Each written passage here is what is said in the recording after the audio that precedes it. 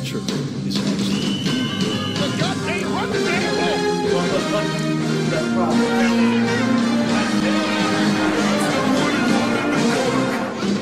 both games. The 49ers have a few good problems to have. They have a young core, they have exciting talent, and a skill surplus of positions that the league needs. Even then, you know that San Fran's not going to rest on their laurels. They're going to try everything they can to bring a Lombardi to Santa Clara. Why not Charvarius Ward? The Niners do need help at corner. And Ward is pretty good, so definitely worth the price of admission. But what about Jimmy G? We were told that there would be plenty of suitors pining for his services in the offseason, and he'd fetch a decent return. Only problem is that he's still here. Once again, not exactly a bad problem to have, but now we'll be forced to suffer through the endless hot takes of if Trey Lance is a bust because a quarterback now has to be good right off the bat. Fuck development, I want a franchise QB now! ESPN really has done horrible things to sports discourse. Whenever I hear about Trey Lance, there are two sides of the spectrum. First is that Lance just needs time to develop his craft to reach his potential. The other is that Trey is apparently the worst quarterback to have ever quarterbacked. It's hard to get a read on him, but you have to remember it's only his second year of play and he's only played in a handful of NFL games. It took Deebo Samuel a bit before he became what he is, and look at him now. He got what he desired in the end. The big bucks. When you have the weapons they have on offense, adding Charvarius Ward to the defense, this is the year where the Niners need to take that next step. They've gotten very close to it, but they're missing that last piece to get them over the top. Kyle Shanahan and company feel the time is now. The Niners are going full bore with Trey Lance. It's not like San Francisco is a choice of QB either. Jimmy Garoppolo should have packed his bags a while ago. You mean to tell me that Jimmy's still a Niner? Well, this is quite awkward, isn't it? Not a real bad problem to have, at least if Lance is bad out of the gate, San Fran is a backup option? Even with the teams that are choosing to blow it up and start from scratch, there is still plenty of intrigue with the NFC. So many teams desperate to win a championship or go far into January, and even more trying to make a name for themselves. The NFC East hasn't had a repeat champion in years, so I'm going to maintain that narrative and pick Philly to win it. The NFC North is still Green Bay's to lose, but they're slowly losing grip on their stronghold. The NFC South has a few suitors, but the Bucs are still too loaded to really fail unless they get injured to hell and back. The NFC West? Huge question mark, but I think the Rams are still the team to beat. But what about the wild cards? Tough to choose, there are so many good options here. In this case, I'm choosing the Niners, Saints, and Vikings. Yes, the Vikings. I think people are sleeping on them. Then again, we've said this about them before, only for them to fall apart. Sorry about that, Minnesota. It's not NFL football without an extremely inconceivable weather phenomenon wreaking havoc. In an effort to get the Bears to agree to a dome, a downpour as relentless as Lori Lightfoot's reign of terror pelted the field of play. Three plus inches of rain plus new sod featuring two young unproven quarterbacks. What that equals? A relentless battle of mid. The Niners cavalry was stuck in mud all game, and it neutralized the field of play for Chicago.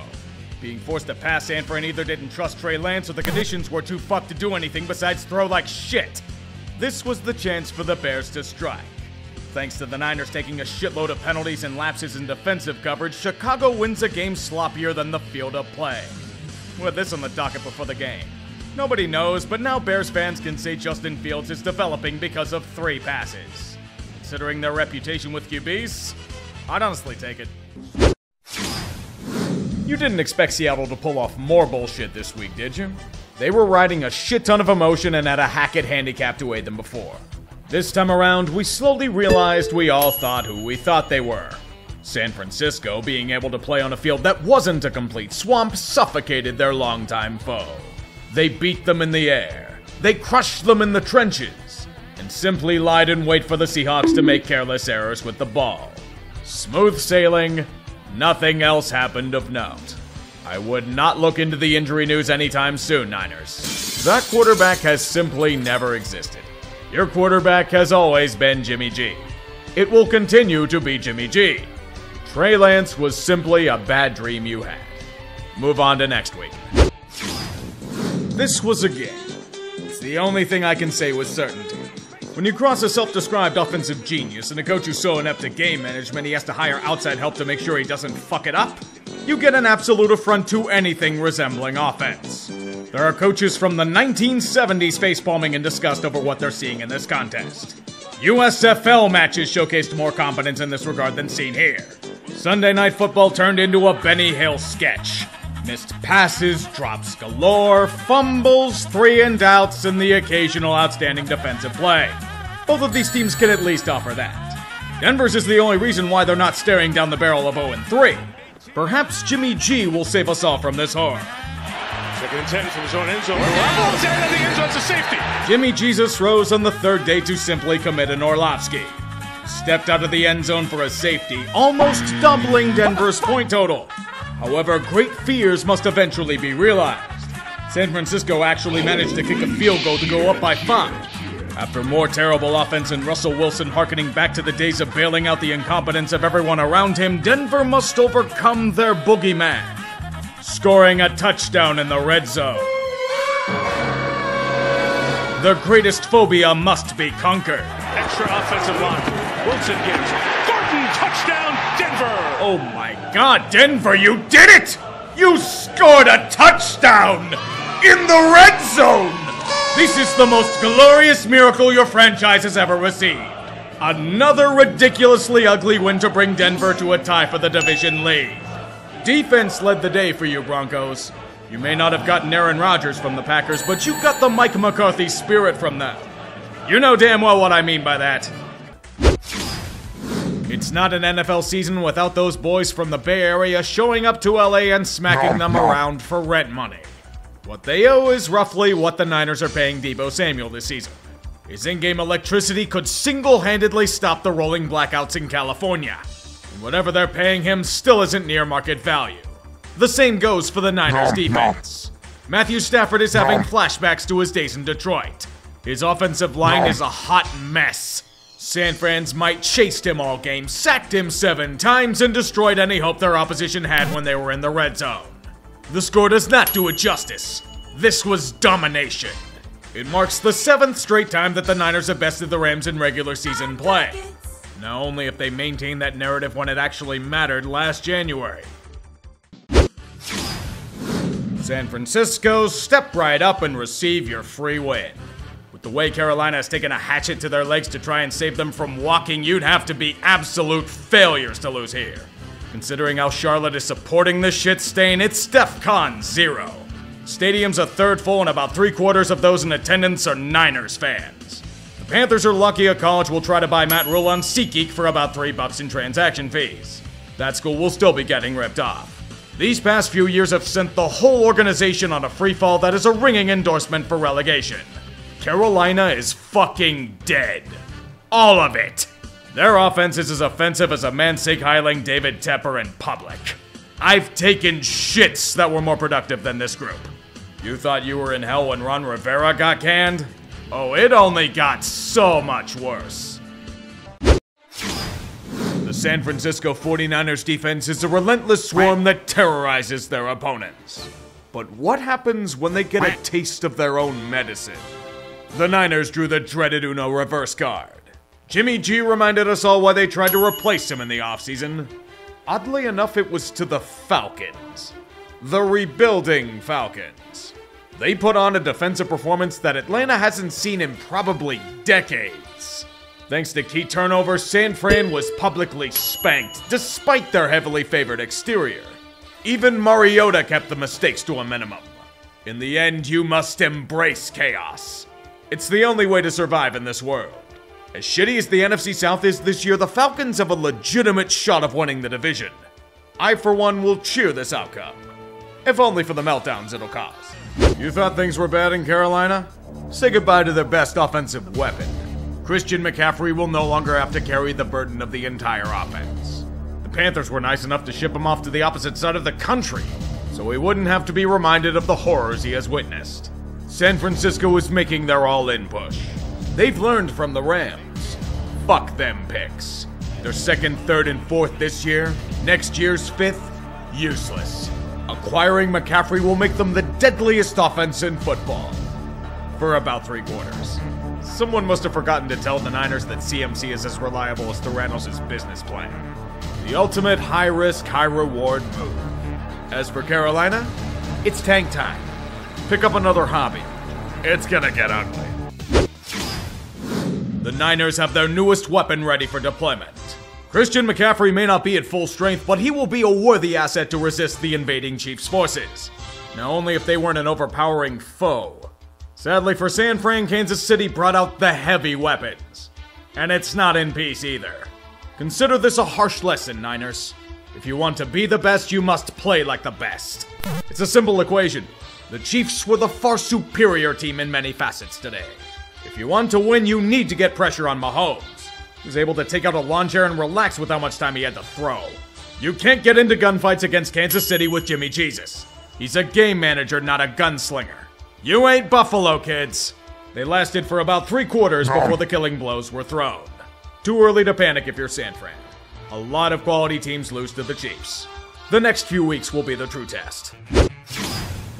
Remember the absolute laws of the NFL. Overreact to everything. When in doubt, it's a personal foul. And most importantly, San Francisco must defeat the Rams in regular season combat. LA is weak and ripe for the kill. The true power of Christian McCaffrey must be unleashed upon the world. CMC will achieve something rarely seen in the football realm the Triple Crown.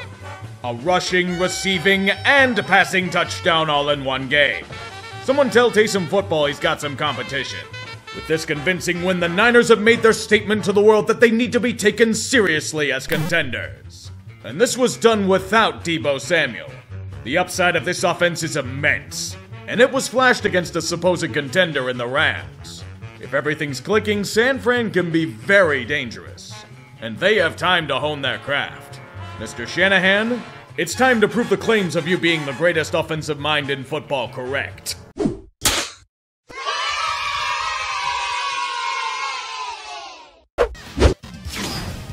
Struggle to secure California isn't really a hard one to decipher.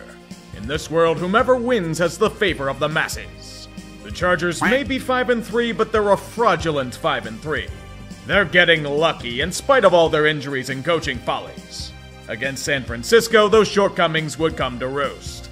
LA would try, and they do everything in their power to match a team trying to go all in, but it wouldn't be enough. The Bolts just don't have enough power to counter. Their Bay Area adversary is just too strong. Props for trying, at least. Justin Herbert was literally knocked out cold on the field of play, and he still kept fighting. I just wish they wouldn't turn him into a hollow shell of himself. Check downs and curl routes ahoy. What an offense Lombardi devises. San Fran had trouble cracking the Charger defense for a bit, but they did enough to win in the end. Jimmy G just has to stand there looking pretty while the rest of the team does the work. Or watch as the Chargers fail to convert a fourth and three at their own eight yard line. They had all three timeouts, but to be fair, their defense is shit. Eh, they were losing anyway. San Francisco needs to clean the bugs off its front grill after this one. They flew through Mexico like they were gun running for the cartel. The vermin that happened to be in their way were the Arizona Cardinals. You could say they didn't have Kyler, but he wouldn't have mattered whatsoever.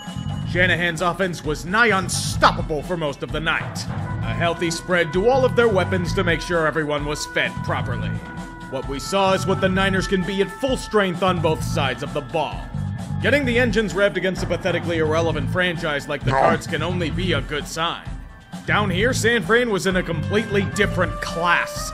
Arizona looked like they just gave up halfway through the game by trying to disconnect from the server. Cards, if only you could rage quit those extensions you gave the failures you call a head coach and GM this past offseason.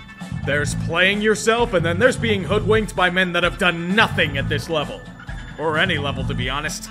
Can we just airlift JJ Watt out of there like we did in Houston? Let him take DeAndre, too. The Saints are the Emmanuel Acho of NFL teams. They're just there. Nobody knows why they keep getting attention from anyone, yet are thrust in our faces to be continually overmatched against their opponents.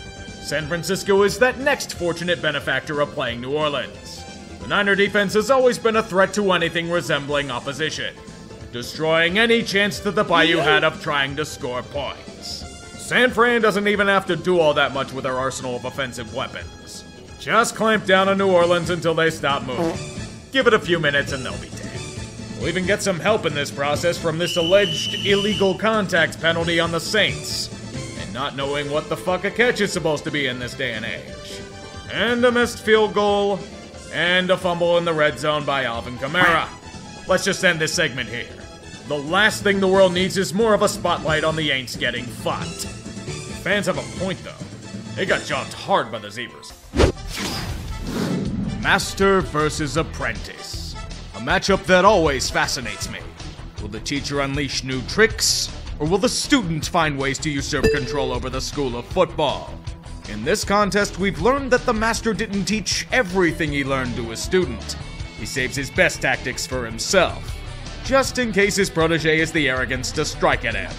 It comes in the form of elite defense. Even in the face of one of the best offenses in the game, there will be no chance for them to secure traction.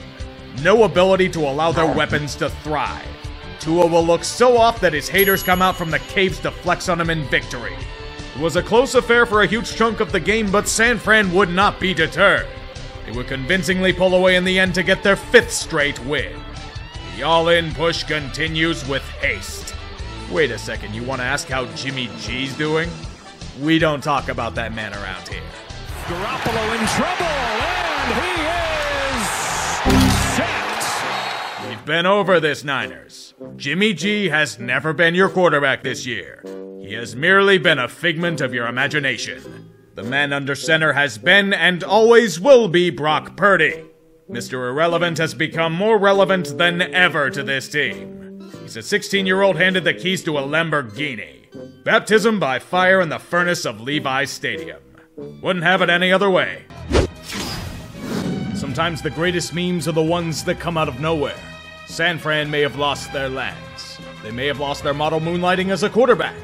But those tragedies have forced us to gaze upon the brass balls of their new man under center. He lets them hang so far down there he has to drag them on the ground. The modern answer to Nick Foles is the man who will lead the Niners to the promised land. Big Cock Brock. A legend in his own right by skillfully guiding San Francisco to a dominating win over a supposed contender in Tampa Bay. Mr. Irrelevant? Maybe for Todd Bowles. This game was over by the third quarter. The Bucs should have to apologize to all of America for forcing us to witness such teabagging. Brock Purdy slapped them around with his balls of steel all game long. It does come at a cost, though. Deebo Samuel. Oh, he'll be fine. It's only a day to day injury. And then days end up becoming weeks, and weeks turn into the season. This is San Francisco. I'm not leaving anything to chance. The playoff push is reaching its final stages. Only one spot has been clinched by Philadelphia, but four weeks remain. Philadelphia obviously has number one seed, but the division is still up for grabs. Minnesota, after an ugly loss this past week, is still second seed, and the NFC North is technically secured as well. The torrid pace of the Niners has them starting to run away with the West in third place right now. But the NFC South is best not discussed. Tampa Bay only has it because the division is straight up awful. Meanwhile, Dallas is sitting pretty with 10 wins and first wild card. After that, it's a mosh pit.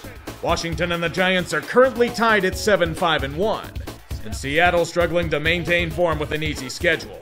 Detroit's creeping up though. And don't forget the rest of the garbage in the NFC South still has a chance. The picture will become clearer as time goes on.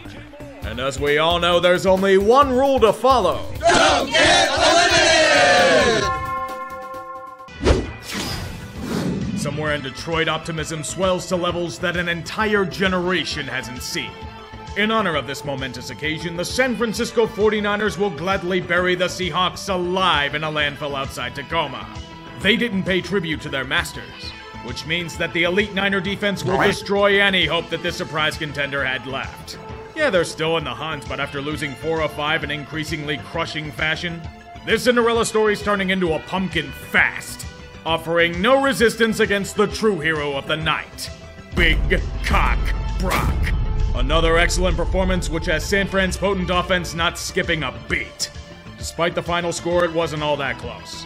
Their seventh straight win as they dance on the grave of the 12s. For this is a night of celebration. The NFC West is theirs.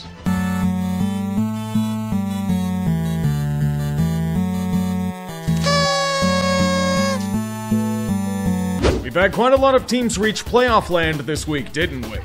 It doesn't mean we're anywhere close to settling how things will shake out. Philly still holds number one seed and can clinch their division with either a win or Dallas loss. Minnesota and San Francisco both clinched their division since there's no elite team rivaling them in division. It's only positioning they're playing for. They won't have to worry about Tampa Bay. They are ass. And their division is even more ass. Please delete it from our existence.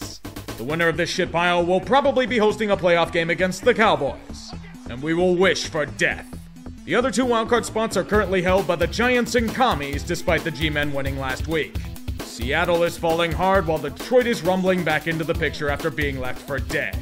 Green Bay hangs on by a thread, and so does the rest of the NFC South. This is gonna be quite fucky, isn't it? Everyone left, you know what to say.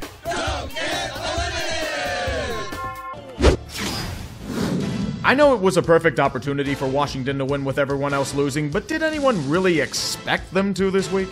The Niners have been destroying all those that have the misfortune of crossing their path.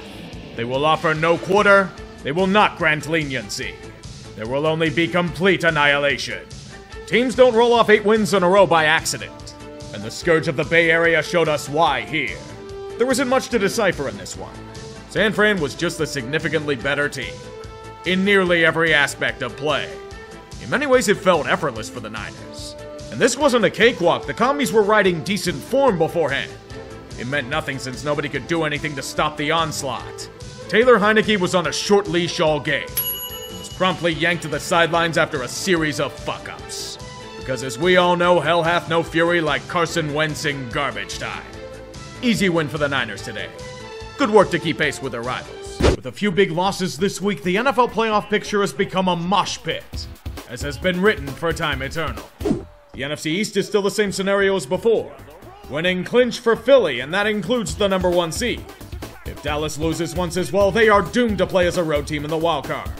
The NFC South is still the division that should not exist, and Tampa Bay can seal it away with a win against the Panthers. If Carolina wins, though, we continue down the chaos timeline. New Orleans is still technically alive, but will need a lot to happen to win the South. With wildcards, Dallas most likely will be headed to the NFC South winner. The Giants still sit comfy a game ahead of Washington for the second spot, with the Commies taking last seat for now. With Detroit and Seattle both losing last week, Green Bay can bullshit their way to a postseason berth with a few more things happening in their favor. But they need the Lions and Seahawks to keep losing. The Saints can also clinch a wildcard, but it's an extreme long shot but it's a shot nonetheless. And if you have that, you can still chant the rule. Don't get eliminated! San Francisco is one of the hottest teams in football. The Raiders keep losing in embarrassing fashion. What does this equal? A close contest? So, is anyone gonna ask how Jarrett Stidham is doing this against one of the best defenses in football? This guy sucked in New England. How has he suddenly become the reincarnation of Ken Stabler in this offense? It's almost as if the spirit of Derek Carr is still with them from afar. And like that spirit, the fact that Stidham has to overcome an extremely porous defense is also in the cards. The Niners are a legit machine on the offensive side of the ball, but I don't think Las Vegas is keen on lying down to die. They have extremely slim playoff chances to maintain. Everyone that needed to lose has lost. The Raiders have gone out to a 10 point lead, but San Fran's pretty good at rubber banding back to tie. It's been pretty standard stuff from them, but the fighting and shootouts are fierce in the heart of Vegas. Touchdowns are being traded in kind as the fourth quarter continues to wind down. The game is now tied with San Francisco charging down the field, and they're in field goal range. Robbie Gould isn't gonna miss in a dome. Good snap. Good hold. No good on the oh, kick. Oh, wow. Missed it wide right. What the hell are we going to overtime? This is a mistake. Someone has to fix this. Adam Stidham, wobbler for Adams, and it's intercepted. Picked off by Tashaun Gipson. Oh, he's gone. Gipson down the sidelines. At least we have some sanity in this contest. With this pick, San Francisco wins and continues their torrid hot streak. As for the embarrassing Raiders, you're done. Now get out! The NFC East is also somehow still up for grabs, with Philadelphia being winning clinch for the third week in a row. Dallas wins and Philly loses next week, we all die. Every other division is locked up, but number one seed is still up for grabs. Philly should have it. But if they lose and San Fran wins, the Niners get it. If both of them lose and Dallas wins, we all die more. Then the seventh seed. Green Bay now controls their own destiny, God help us all. If Green Bay suffers another January home loss, Seattle would have to win to get it. If both the Packers and Seahawks lose, Detroit would slingshot back to the top. It's a lot to digest, and hard to comprehend considering situations. But we must remember to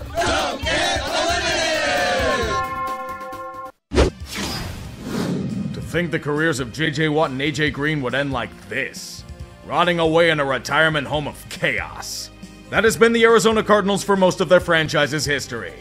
And it continued against the team that ended up becoming what they so desperately ah. tried to be when they cloned Texas Tech. When you settle for David, I allow others to plow my wife, it's going to be a rough day. I don't care if rumors of Kingsbury and Keim being exposed ah. for their grift spread like wildfire. Those two should have never been extended in the first place. When you see San Francisco, it's a tale of haves and have nots. It's a team of stability and offensive weapons. A team boasting an elite ah. defense. A team that can plug in a seventh round rookie named Big Cock Brock and still run ramshot against anyone. It's why their moves have allowed them to win 10 straight, secure the second seed in the NFC, and look to be heavy favorites to make it to the Super Bowl. What did the Cardinals get? Jack and shit. As it's always been and always will be. And there you have one of the sloppiest NFL seasons we've seen in a long time. Depending on how you view things, it's either thanks to a revival of defense or incredibly terrible offense. I'm on the side of the latter. But when you see a collapse of anything resembling discipline and technique, it tends to be like that. But as the playoffs await, it's time to get sappy and sentimental. I consider sports ball as a project of sorts, and it feels weird when it's over. I want to thank you for joining me for another year of this madness, and I wish you all nothing but the best. It's been six seasons since I started this series, and I somehow haven't lost my damn mind yet. Perhaps these playoffs will do the trick. I'll see you all for the Haters Guide.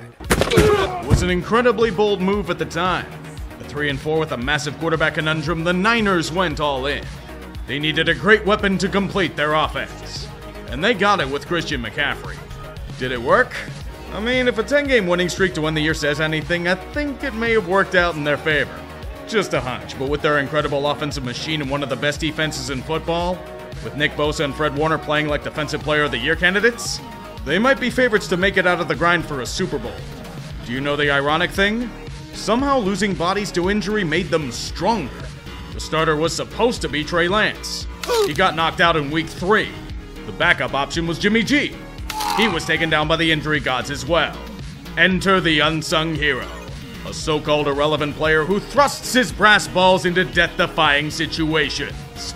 Big Cock Brock, a legend without compare, and blessed with composure rivaling the most grizzled veteran. If he can limit his mistakes on the big stage, the Niners will go far. They have everything they need to make a deep run. The question is, will it materialize? Injuries have destroyed the Niners in three of the last five seasons. The ultimate curse, it happened again. San Francisco was decimated by forces beyond their control. Losing two QBs is hard enough, but the third time was finally the charm. Big Cock Brock was cut down by a fucked elbow. Having no choice, they were forced to chuck the eternal journeyman Josh Johnson out to play the biggest game of his life. Before he was also knocked out of the game. You're forced to rely on a Brock that can't throw a football more than three yards, you're done. The Ron Trails used this meat for a cheesesteak stand. Maybe those will show as much unnecessary fight as the Niners did. Horrifically undisciplined. Even if the Eagles got a ton of breaks, they were winning this one easily regardless. It was a funeral. And Kyle Shanahan is Sisyphus, continually pushing the ball to a star QB on top of the hill only for it to get hurt and fall off the other side. Such a terrible fate. Pray for his children.